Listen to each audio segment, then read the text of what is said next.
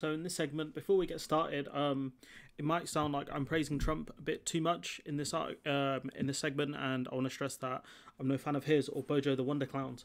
But what you're going to see is kind of the um, the right wing populist Trump returning, and you know this is a guy who, if if if Trump had stayed the right wing populist that he had done um, in 2016 uh, before he became president, I think there's a strong chance he could have won the um, the election this year, had he pushed for more things like stimulus, um, he would have had a much better chance at winning.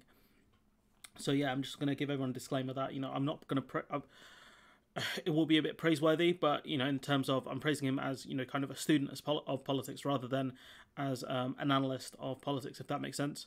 So um, yeah, let's let's get down to it. So uh, President Trump urged um, Congress to amend a 900 billion pound, billion dollar um, bill. Uh, relief bill to more than triple its stimulus payments to Americans. So what he wants is the 600 to go to 2,000 and um, that's great news um, if this thing does pass because it's a lot more money, uh, especially at a time when people need it desperately. Um, especially since um, you know the last bill was in May, and um, we're going to be talking about that in a bit. And so you can see here, you know, Trump here talks about you know the foreign aid money and you know saying why in this bill is there so much money going to foreign aid rather than going to Americans who obviously you know fund the government through taxes. Um, so his statement stunned Capitol Hill. Republicans and Democrats um, have been negotiating a coronavirus stimulus rescue package since July, and I feel like Trump should have come out much earlier and pushed for this. I feel like he's left it very late in the day. Some people think he's done it to uh, annoy McConnell because McConnell's the one who kind of lowballed the uh, the American public.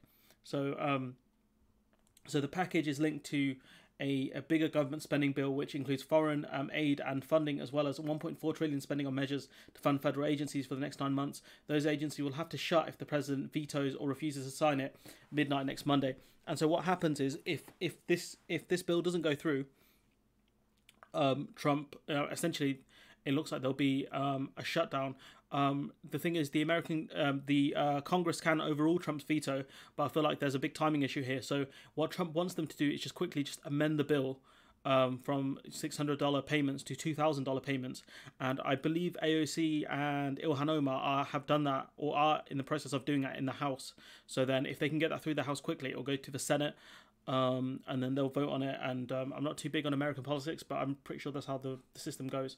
Um, however, Mr. Trump said he would not specifically has not said he would veto the bill, even if he does. U.S. media say there could be enough votes um, from both Democrats and Republicans to override the bill. Um, there was a bit where, so in Tuesday night's message from the White House, Mr. Trump balked at the spending bill on other countries, arguing um, that this money should go to struggling Americans. This is where he returns to kind of the right wing populist. There, he said the bill contains 85.5 uh, million for assistance to Cambodia, 134 million to Burma and 1.3 billion for Egypt and the Egyptian military. And so those those are valid points here because unless those that money is going to help you know civilians in those countries, you know why the, why are America spending this much money? Because if it is going to help civilians, I get that because there's one way to stop people going to extremism is to give them a stable um, a stable foothold in life. But then he goes out further to say this is where the populist aspect comes in you know the Egyptian military, which will go out and buy almost exclusively Russian military equipment. So what he's saying is, you know, why are we funding the Egyptian military when they're going to buy um, American equipment? So what he could push for is an amendment to say that um, th- this money will go to the Egyptian military, but they can only buy American equipment, which you know helps the um, military-industrial complex. Twenty-four five million for democracy and gender programs in Pakistan. It's a bit weird. Um, 505 million to Belize. I don't know what country that is. Costa Rica, El Salvador, Guatemala, Honduras, Nicaragua, and Panama. And like I said, if that money goes to you know civilians in those countries to help them, um, to you know help stop them going into gang life, then um, that's a great thing. So the money has to go to the right places for it to be worth. I think this is where he gets a bit stupid here. He questioned why the Kennedy Center, a performing arts complex in Washington D.C., was set to receive 40 million when it's not open. Well, it's not open because of COVID, and therefore it needs money because it's not making money because it's not open. Like, come on, dude. And the one billion been allocated to galleries and um, in the capital. I think it's really obvious why they've given this money to museums and galleries. Um, clearly, the uh, people in Washington need something to do whilst they're not doing work, um, which is most of the time. Uh, Mr. Trump concluded Congress has found plenty of money for foreign countries, lobbyists, and special interests. There's that right wing populist. There's that 2016 maverick that won the election. And you know, even though you know a lot of his rhetoric was racist um, in 2016, and I applaud him. You know, as a student of the game, you know, you learn a lot of things. And there's the right wing populist returning again, talking about you know why are we giving money to foreign countries and lobbyists and special interests? You know, the swamp we should be giving the money to um, ordinary Americans, the forgotten man. Um, you know, he says people, American people need it. It wasn't their fault. It's China's fault. So there it is again. You know, the man blaming China for this pandemic. I am asking Congress to amend the bill and increase the ridiculously low $600 to $2,000 or $4,000 for a couple, um, which is, you know, if, if this bill, if he does manage to get it through, it's great news. So on Tuesday, uh, Joe Biden said the coronavirus bill was merely a down payment and vowed he would press lawmakers to pass another stimulus bill. The thing is, um, Joseph Biden, you have multiple problems here, which is that um, the uh, Senate, you don't control the Senate. And um, I believe if um, if Perdue and Loeffler lose, in Georgia, you're gonna have 50-50. And so if you do pass, if you do try and pass another stimulus bill, um, you might have issues with you know uh, people like Joe Manchin and uh, people like that. So you know saying this is a down payment is stupid because the last time these people Americans got any money was in May. So this is a very stupid decision because uh, Mitch McConnell will do his best to block these bills. That's what's going to happen. So you know Joe Biden here saying trying to lowball the American taxpayer like you have nothing to lose here, Biden, if Trump increased the money because he's a lame duck. He's lost. So I don't understand. Like this is the stupidity of these politicians here, the the neoliberals and sort of the people who don't understand ordinary people. It's been a long time since they've been poor. I can tell you that for free. It's been a long time since they knew um, what it's like to struggle. The most powerful congressional Democrat House Speaker Pelosi, um, usually a fierce antagonist of the president, said she agreed with Mr. Trump's call for $2,000 one off stimulus payments for every American. And the thing is, right, what she's doing here is smart politics. What she's doing here is smart politics because this undermines McConnell and the Senate Democrats entirely. This absolutely decimates them because what that means is it puts them against the President Trump. President Trump, who is one of the most um, popular uh, Republicans. And what's going to happen is she's going to ask the question to ordinary Republicans, which is, especially the ones in Georgia, right? Why is Mitch McConnell and the Senate Republicans going against um, helping you, the ordinary person? So if Pelosi is smart, which she, you know, this is a smart decision from her, seeing as she got played with the CARES Act in May, um, she has to play this intelligently. Um, you know, Republican Senator Lindsey Graham, a staunch ally of the president, uh, responded to Pelosi, welcoming her support for the payments and saying, let's go further and agree with the President Trump that big tech needs to be reined in by winding down Section 230. That's stupid stuff. But what, what you know, with Pelosi, here's an intelligent move for once. And you can see here, you know, hunger spikes, demand rises for um, food from U.S. food banks. You've got, um, you know, unemployment in the U.S. People don't know what they do because their welfare system isn't that generous. Their welfare system, you know, isn't great.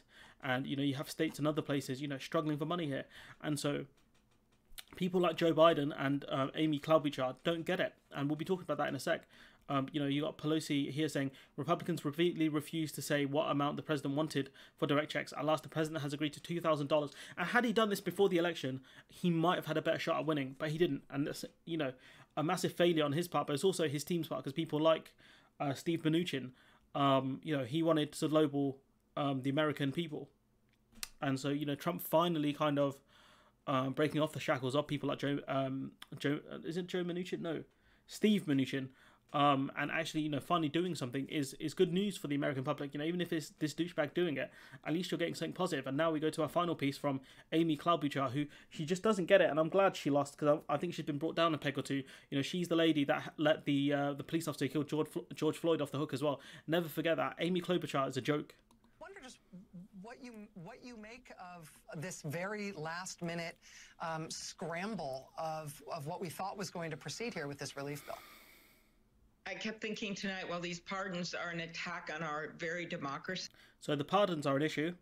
Um, absolutely, because he's pardoned a lot of war criminals. But you know, the thing is, she sees the um, this change to stimulus far worse. So we go on. See, uh, this is an attack on every American. People who are struggling to get by right now. Out. So here she's talking about the stimulus. You know, uh, Trump sort of urge to change it to 2000 and she's saying well it's too late to do that. Of work whose unemployment the unemployment is going to basically end the day after christmas if this doesn't pass. People who are out of work uh, people who need uh, the help the vaccine distribution rachel is in this 30 billion dollars. These vaccines are not going to just parachute into a small town in the middle of minnesota the thing is, right, she's in part she's right because this bill is really important. But the thing is, and Trump left it very late in the day. I don't understand. I still don't understand why he did that. But at the same time, what's going to help these people who are poor and who are unemployed and who are struggling? Six hundred dollars or two thousand dollars? That's the question I leave with you today. And people like her, people like Joe Biden, um, they don't get it. And you know what annoys me most is, you know, you guys in America, you could have had Bernie. You could have had Bernie, but um, you all got played um, uh, people voted against their best interests, and that seems to happen. But people like um, Joe Biden don't know, and um, what's her name, Klobuchar, clearly have forgotten what it's like to be poor. Let's hear, Jack. Can't fret over every egg. Not when you're purging the weak, right? What do you know about the weak? You weren't born poor. You've never been hungry. You don't know what it's like to fight and steal and kill just to survive. What it's like to be hungry. They don't get it anymore. So I'm going to leave it there. Let me know what you think in the comments below. Like, comment, share, subscribe, and hopefully I'll see you in the next one.